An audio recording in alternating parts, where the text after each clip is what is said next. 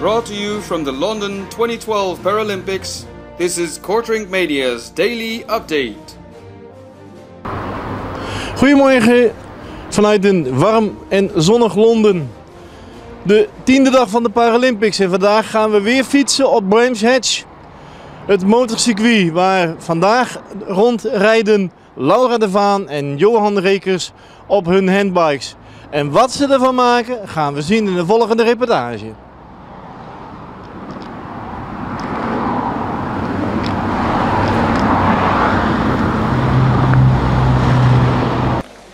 En gelijk al beelden van de eerste doorkomst van de groep waar Laura de Vaan in meereed.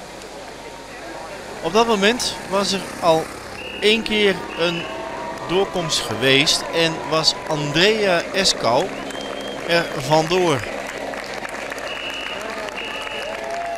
Hier nog met z'n allen bij elkaar in de eerste ronde. Maar zoals ik al zei, in de tweede ronde en derde ronde was het snel afgelopen met de gouden kansen van Laura.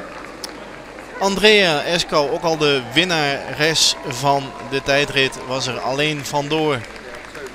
Er bleef niet veel over dan dat ze samen met Dorothee Veit op, om het uh, zilver zouden gaan strijden. Hier komen ze weer door.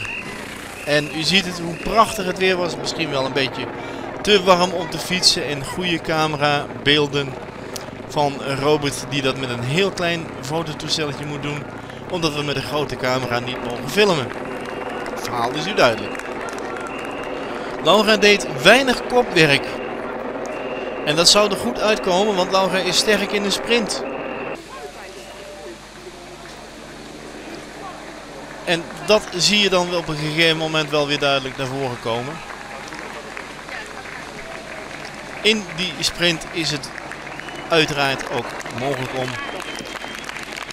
de Duitse Dorothee Viet op afstand te rijden. De volgende doorkomst hier. Je ziet het ook dat het niet lang overal even vlak is. Nee, Brems Hedge is een uh, parcours gebouwd voor motoren. En de dames en ook de heren hadden er soms erg veel moeite mee moet ik zeggen. Langzaamaan een klein beetje voorbereiden op de finish. En hier komt onze Duitse Andrea dubbel goud op de tijdrit, op de wegwedstrijd. Niets aan af te dwingen. Een prachtige prestatie. Maar dan, dan gaan we de sprint zien tussen Laura de Vaan en Dorothee Viet. Ze komen zo meteen de hoek om. En dan wordt het toch eventjes billen knijpen voor alle Nederlanders. Want dan gaat het erom wie gaat het hier winnen. Wie pakt de zilveren medaille mee. Daar komen ze de hoek om. Eerst de mannen nog één, nog één man voorop. Van een andere categorie. En daar komt dan Laura. En die gaat als een speer er vandoor. Kijk eens eventjes heel goed wat hier gebeurt. Hier gaat Laura voor de zilveren medaille natuurlijk. Ja, ja, zilver wordt er al op de achtergrond geroepen. En dat is het dan ook. Zilver voor Laura de Vaan. Wat een prachtige prestatie. Nog even terug naar de heren, want ik had het er net al even over. Ook de heren reden hun wedstrijd. En daar laten we natuurlijk ook graag nog even wat beelden van zien.